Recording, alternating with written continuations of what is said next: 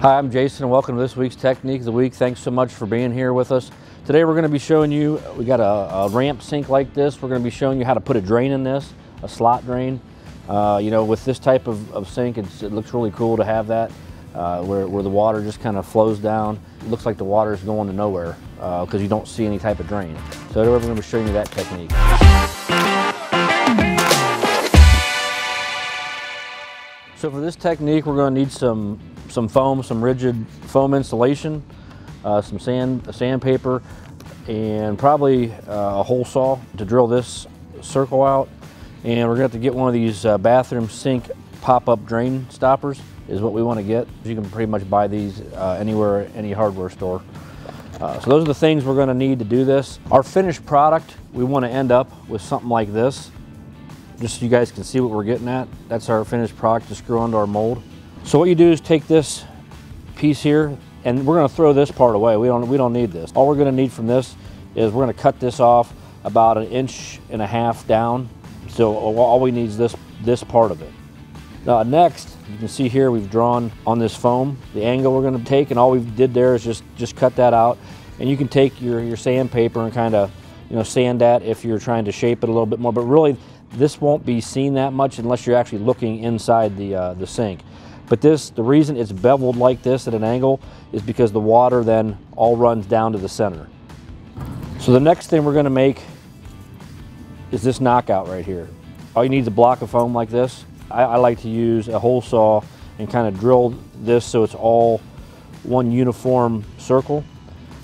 And then we're just gonna shape it to the same size so it comes down to this. So this sits on top there like that. So we want this to be able to go over top of this, kind of screw on there so it's flush.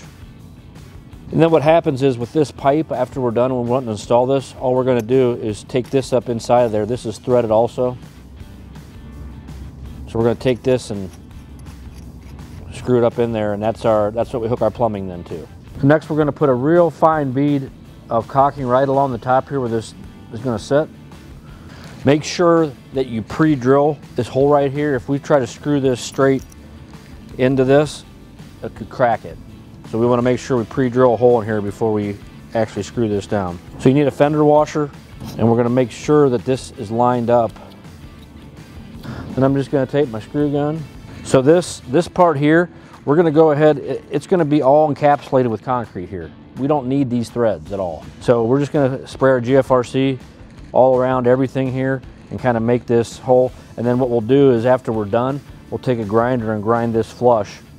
And then that'll allow, that'll allow our pipe to stick through here and we can thread that on. We got our slot drain sink poured. And the other thing we want to do with something like this is put tape over it. That makes it a lot easier to be able to get it out too. So, um, so what they've already done is took a hybrid blade. I recommend these for doing stuff like this because it doesn't throw as much uh, of the aggregate, the sand and stuff, it doesn't chip as bad. If you have one of these hy hybrid ones that hasn't filled in between. So they just took this and ground this down so it's flush.